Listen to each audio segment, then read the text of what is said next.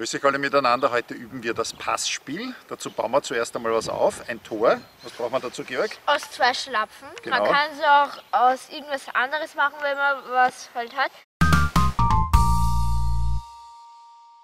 So, und wenn alles steht, dann gehen wir fünf Schritte vom Tor weg und das ist unsere Ausgangsposition. Fünf ordentliche Schritte, Georg, geht schon? Eins, zwei, drei, vier, fünf und dort legen wir uns den Ball hin und dann kann es schon losgehen. So, und jetzt müssen wir mitzählen. Wer zwischen die beiden Pfosten reintrifft, das sind bei uns die grünen Schuhe, kriegt einen Punkt. Wenn der Ball daneben vorbeigeht, null Punkte. Und wenn wir es schaffen, die Flasche in der Mitte zu treffen, dann gibt es zwei Punkte. Und das Ganze machen wir jetzt fünfmal und dann zählen wir zusammen, wie viele Punkte wir haben. Also, bist du Los bereit? geht's.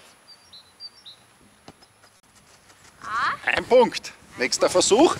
Machen wir gleich noch einen. Geht schon. Leg dann wieder hin.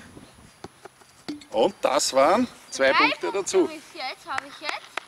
Und was ist wichtig dabei, das wisst ihr schon, das haben wir schon geübt, dass das Standbein genau gerade neben dem Ball steht, also nicht davor, nicht dahinter und dass der andere Fuß dann den Ball praktisch Richtung Ziel schiebt mit der breiten Seite, das heißt der Oberkörper geht ein bisschen drüber und dann schieben wir den Ball Richtung Ziel. So einfach geht das. Und wem das zu leicht ist und wer dauernd trifft, der kann einfach weiter weggehen. Sechs, sieben, acht Schritte, so wie der Anton zum Beispiel und der zeigt uns das jetzt einmal.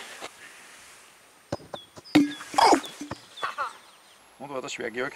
Nein, ziemlich Nicht. leicht. Also wem das zu leicht ist, da habe ich eine verschärfte Aufgabe für euch.